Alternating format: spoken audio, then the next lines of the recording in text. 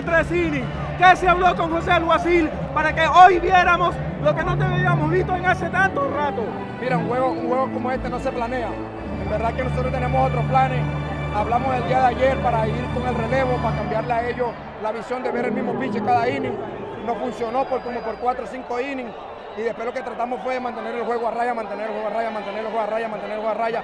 En mi momento cuando entré a pichar yo solamente traté de economizar picheo para no irme tan largo.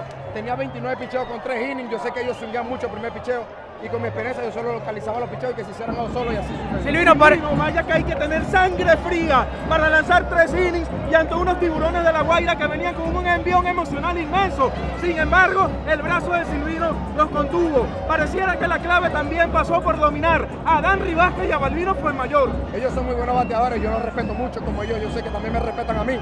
Este, pero yo sabía que ellos tenían ansiedad de quererme conectar un cuadrangular y yo solamente trataba de usar mi inteligencia y bueno, no, tratar de no equivocarme con los picheos. Fallé creo que un picheo y fue el último Ángel Reyes que casi me conecta de cuadrangular. Pero mira, soy humano y nada, gracias a Dios, él también la falló y logró ser out y bueno, pudimos tener. ¿Vas a la Serie del Caribe con no, el Caracas? No voy a poder acompañar al equipo de Caracas para la Serie del Caribe. No vas a ir, no vas a ir, Silvino.